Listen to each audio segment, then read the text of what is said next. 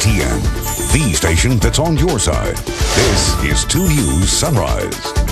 From our Greene County newsroom now, new technology is changing the way students learn in Fairborn. Students at Fairborn Primary School are getting a lesson in metamorphosis by using the interactive tool. This system uses a computer with a projector to bring the lesson into the classroom. Also, teachers use the touchscreen application to get students involved in other lessons.